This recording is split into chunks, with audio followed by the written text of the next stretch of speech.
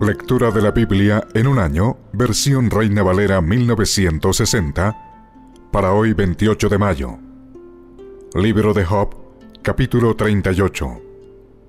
Jehová convence a Job de su ignorancia.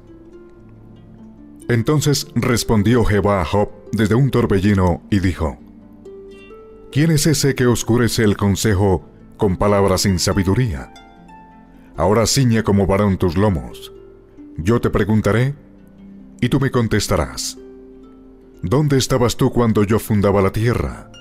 Házmelo saber, si tienes inteligencia. ¿Quién ordenó sus medidas, si lo sabes? ¿O quién extendió sobre ella cordel? ¿Sobre qué están fundadas sus bases? ¿O quién puso su piedra angular, cuando alababan todas las estrellas del alba y se regocijaban todos los hijos de Dios? ¿Quién encerró con puertas el mar, cuando se derramaba saliéndose de su seno, cuando puse yo nubes por vestidura suya y por su faja oscuridad, y establecí sobre él mi decreto, le puse puertas y cerrojo, y dije, hasta aquí llegarás, y no pasarás adelante, y ahí parará el orgullo de tus olas. ¿Has mandado tú a la mañana en tus días? ¿Has mostrado al alba su lugar para que ocupe los fines de la tierra y para que sean sacudidos de ella los impíos? Ella muda luego de aspecto como barro bajo el sello y viene a estar como con vestidura. Mas la luz de los impíos es quitada de ellos, y el brazo enaltecido es quebrantado. ¿Has entrado tú hasta las fuentes del mar y has andado escudriñando el abismo? ¿Te han sido descubiertas las puertas de la muerte y has visto las puertas de la sombra de muerte? ¿Has considerado tú hasta las anchuras de la tierra? Declara si sabes todo esto. ¿Por dónde va el camino a la habitación de la luz y dónde está el lugar de las tinieblas para que las lleves a sus límites y entiendas las sendas de su casa? Tú lo sabes, pues entonces ya habías nacido y es grande el número de tus días. ¿Has entrado tú en los tesoros de la nieve y has visto los tesoros del granizo que tengo reservados para el tiempo de angustia, para el día de la guerra y de la batalla? ¿Por qué camino se reparte la luz y se esparce el viento solano sobre la tierra? ¿Quién repartió conducto al turbión y camino a los relámpagos y truenos, haciendo llover sobre la tierra deshabitada, sobre el desierto, donde no hay hombre, para saciar la tierra desierta e inculta y para hacer brotar la tierna hierba? ¿Tiene la lluvia padre? ¿O quién engendró las gotas del rocío? ¿De qué vientre salió el hielo? ¿Y la escarcha del cielo, quién la engendró? Las aguas endurecen a manera de piedra y se congela la faz del abismo. ¿Podrás tú atar los lazos de las Pléyades o desatarás las ligaduras de Orión? ¿Sacarás tú a su tiempo las constelaciones de los cielos o guiarás a la osa mayor con sus hijos? ¿Supiste tú las ordenanzas de los cielos? ¿Dispondrás tú de su potestad en la tierra? ¿Alzarás tú a las nubes tu voz para que te cubra muchedumbre de aguas? ¿Enviarás tú los relámpagos para que ellos vayan? ¿Y te dirán ellos, henos aquí? ¿Quién puso la sabiduría en el corazón? ¿O quién dio al espíritu inteligencia? ¿Quién puso por cuenta los cielos con sabiduría? ¿Y los odres de los cielos, quién los hizo inclinar cuando el polvo se ha convertido en dureza y los terrones se han pegado unos con otros? ¿Cazarás tú la presa para el león? ¿Saciarás el hambre de los leoncillos cuando están echados en las cuevas o se están en sus guaridas para acechar?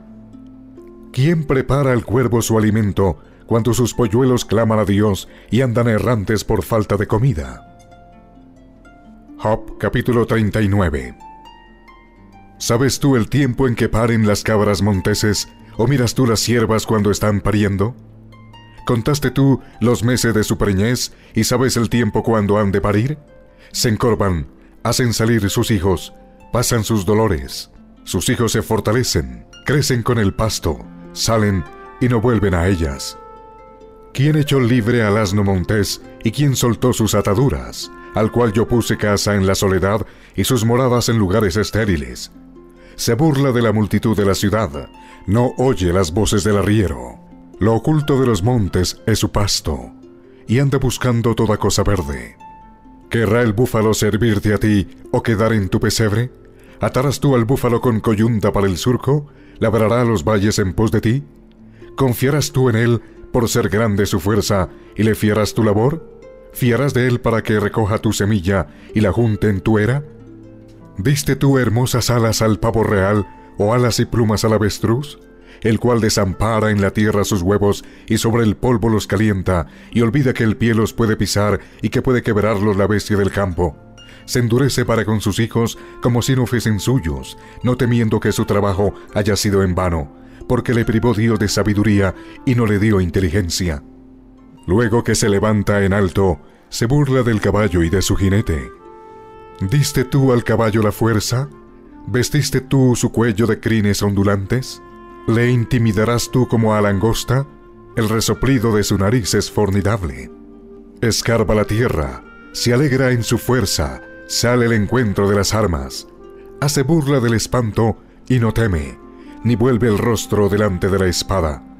Contra él suenan la aljaba, el hierro de la lanza y de la jabalina, y él con ímpetu y furor escarba la tierra, sin importarle el sonido de la trompeta, antes como que dice entre los clarines, Ea, y desde lejos huele la batalla, el grito de los capitanes y el vocerío.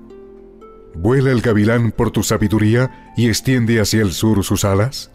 ¿Se remonta el águila por tu mandamiento y pone en alto su nido? Ella habita y mora en la peña, en la cumbre del peñasco y de la roca. Desde allí acecha la presa, sus ojos observan de muy lejos, sus polluelos chupan la sangre, y donde hubiere cadáveres, allí está ella. Job capítulo 40 Además respondió Jehová a Job y dijo, ¿Es sabiduría contender con el Omnipotente? El que disputa con Dios, responda a esto. Entonces respondió Job a Jehová y dijo, He aquí que yo soy vil. ¿Qué te responderé? Mi mano pongo sobre mi boca. Una vez hablé, mas no responderé. Aún dos veces, mas no volveré a hablar. Respondió Jehová a Job desde el torbellino y dijo, Cíñete ahora como varón tus lomos. Yo te preguntaré y tú me responderás. ¿Invalidarás tú también mi juicio? ¿Me condenarás a mí para justificarte tú? ¿Tienes tú un brazo como el de Dios? ¿Y truenas con voz como la suya?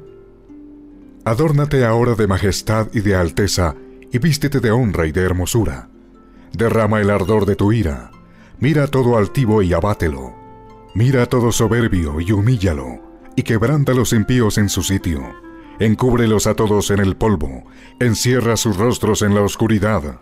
Y yo también te confesaré que podrás salvarte tu diestra. He aquí ahora Behemoth, el cual hice como a ti, hierba come como buey. He aquí ahora que su fuerza está en sus lomos, y su vigor en los músculos de su vientre. Su cola mueve como un cedro, y los nervios de sus músculos están entretejidos. Sus huesos son fuertes como bronce y sus miembros como barras de hierro. Él es el principio de los caminos de Dios. El que lo hizo puede hacer que su espada a él se acerque. Ciertamente los montes producen hierba para él, y toda bestia del campo retosa allá. Se echará debajo de las sombras, en lo oculto de las cañas y de los lugares húmedos. Los árboles sombríos lo cubren con su sombra, los sauces del arroyo lo rodean. He aquí, sale de madre el río, pero él no se inmuta. Tranquilo está, aunque todo un Jordán se estrelle contra su boca. ¿Lo tomará alguno cuando está vigilante y horadará su nariz? Job capítulo 41 ¿Sacarás tú a Leviatán con anzuelo o con cuerda que le eches en su lengua? ¿Pondrás tu soga en sus narices y horadarás con garfio su quijada? ¿Multiplicará el ruegos para contigo ¿Te hablará en lisonjas? ¿Hará pacto contigo para que lo tomes por siervo perpetuo? ¿Jugarás con él como un pájaro o lo atarás para tus niñas? ¿Harán de él banquete los compañeros? ¿Lo repartirán entre los mercaderes? ¿Cortarás tú con cuchillo su piel o con arpón de pescadores su cabeza? Pon tu mano sobre él, te acordarás de la batalla y nunca más volverás. He aquí que la esperanza acerca de él será burlada, porque aún a su sola vista se desmayarán. Nadie hay tan osado que lo despierte. ¿Quién pues podrá estar delante de mí? ¿Quién me ha dado a mí primero para que yo restituya? Todo lo que hay debajo del cielo es mío. No guardaré silencio sobre sus miembros, ni sobre sus fuerzas y la gracia de su disposición. ¿Quién descubrirá la delantera de su vestidura? ¿Quién se acercará a él con su freno doble? ¿Quién abrirá las puertas de su rostro? Las hileras de sus dientes espantan. La gloria de su vestido son escudos fuertes, cerrados entre sí estrechamente. El uno se junta con el otro, que viento no entra entre ellos. Pegado está el uno con el otro. Están trabados entre sí que no se pueden apartar. Con sus estornudos encienden lumbre, y sus ojos son como los párpados del alba. De su boca salen hachones de fuego, centella de fuego proceden, de sus narices sale humo, como de una olla o caldero que hierve. Su aliento enciende los carbones y de su boca sale llama. En su cerviz está la fuerza y delante de él se esparce el desaliento.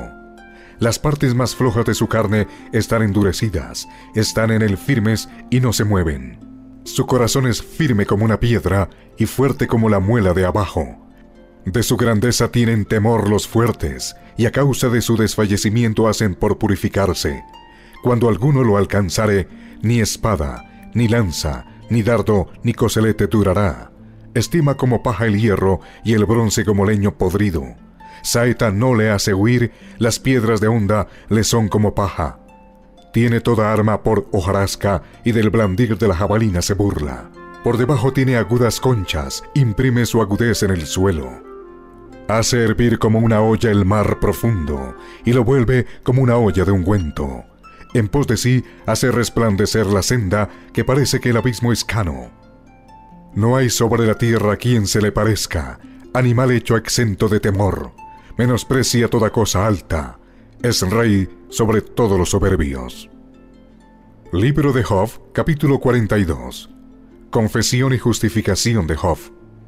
Respondió Job a Jehová y dijo, Yo conozco que todo lo puedes, y que no hay pensamiento que se esconda de ti. ¿Quién es el que oscurece el consejo sin entendimiento? Por tanto, yo hablaba lo que no entendía. Cosas demasiado maravillosas para mí que yo no comprendía. Oye, te ruego, y hablaré. Te preguntaré, y tú me enseñarás. De oídas te había oído, mas ahora mis ojos te ven por tanto me aborrezco y me arrepiento en polvo y ceniza. Y aconteció que después que habló Jehová estas palabras a Job, Jehová dijo a Elifaz Temanita, Mi ira se encendió contra ti y tus dos compañeros, porque no habéis hablado de mí lo recto como mi siervo Job. Ahora pues, tomaos siete becerros y siete carneros, e id a mi siervo Job, y ofreced holocausto por vosotros, y mi siervo Job orará por vosotros porque de cierto a él atenderé para no trataros afrentosamente, por cuanto no habéis hablado de mí con rectitud, como mi siervo Job. Fueron pues Elifaz de Manita, Bildad Suita y Sofar Naamita, e hicieron como Jehová les dijo. Y Jehová aceptó la oración de Job. Y quitó Jehová la aflicción de Job cuando él hubo orado por sus amigos, y aumentó al doble todas las cosas que habían sido de Job. Y vinieron a él todos sus hermanos y todas sus hermanas, y todos los que antes le habían conocido, y comieron con él pan en su casa, y se condolieron con él, y le consolaron de todo aquel mal que Jehová había traído sobre él, y cada uno de ellos le dio una pieza de dinero y un anillo de oro. Y bendijo Jehová el postrer estado de Job más que el primero, porque tuvo catorce mil ovejas, seis mil camellos, mil yuntas de bueyes y mil asnas, y tuvo siete hijos y tres hijas. Llamó el nombre de la primera Gemima, el de la segunda, Cesia, y el de la tercera, Keren Apuk. Y no había mujeres tan hermosas como las hijas de Job en toda la tierra. Y les dio su padre herencia entre sus hermanos. Después de esto vivió Job ciento cuarenta años, y vio a sus hijos y a los hijos de sus hijos hasta la cuarta generación. Y murió Job viejo y lleno de días.